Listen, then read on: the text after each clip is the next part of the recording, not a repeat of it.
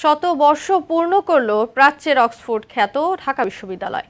সময়ের বিবর্তনে অতীত ঐতিহ্য ধরে রাখতে না পারলেও উচ্চশিক্ষা ও মেধা সৃষ্টিতে এগিয়ে যাওয়ার প্রত্যাশা জানিয়েছেন শিক্ষক শিক্ষার্থীরা।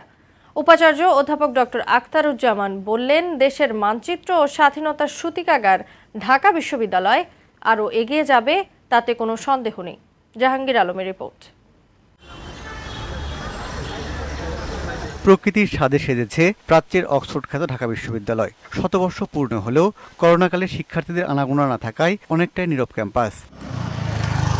বঙ্গভঙ্গ হ্রদের প্রেক্ষাপটে এই অঞ্চলের মানুষের উচ্চশিক্ষার জন্য উনিশশো একুশ সালের পয়লা জুলাই ঢাকা বিশ্ববিদ্যালয় প্রতিষ্ঠা করে ব্রিটিশ সরকার, যা পরবর্তীকালে অধিকার আদায়ের আন্দোলন সংগ্রামের প্রাণকেন্দ্রে পরিণত হয়। ভাষা আন্দোলন, স্বাধীনতা সংগ্রাম সবকিছুতে জড়িয়ে শিক্ষাঙ্গনটি। এই বিশ্ববিদ্যালয়ের শিক্ষার্থী বঙ্গবন্ধু শেখ মুজিবুর রহমানের হাত ধরে আসে স্বাধীন বাংলাদেশ। যদিও আর্থসামাজিক প্রেক্ষাপটে সময়ের বিবর্তনে গৌরবময় ঐতিহ্য ধরে রাখতে পারেনি ঢাকা বিশ্ববিদ্যালয়। তারপরও শিক্ষার্থীদের প্রত্যাশা দুঃসময় পেছনে ফিরে এগিয়ে যাওয়ার। বিশেষ করোনাকালীন সময়ে ঢাকা বিশ্ববিদ্যালয়ের ছাত্রছাত্রীদের জন্য তেমন গঠনমূলক কোন ব্যবস্থা নিতে পারেনি। তবে আমরা বিশ্বাস রাখি আমাদের ঢাকা বিশ্ববিদ্যালয় তার ঐতিহ্য ধরে রাখবে। একাডেমিক যে সমস্যাগুলো আছে সে সমস্যাগুলো নিরসন করা সমাধান করা। বিশ্বাস করে একশো বছরের এই প্রাচীন ঢাকা বিশ্ববিদ্যালয় অচিরেই আন্তর্জাতিক মানসম্মত একটা বিশ্ববিদ্যালয় হিসেবে গড়ে উঠবে। শিক্ষকরাও বলছেন এখন আর পেছনে ফিরে তাকানোর সময় নেই।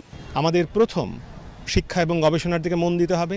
পাশাপাশি আমাদের ছাত্রদের যে চরিত্র গঠন এই চরিত্র গঠনের দিকেও খেয়াল রাখতে হবে। নানা প্রতিবন্ধকতা অতিক্রম করে শতবর্ষের সামনে এগিয়ে যাওয়ার প্রত্যয় জানান উপাচার্য অধ্যাপক ডক্টর আখতারুজ্জামান।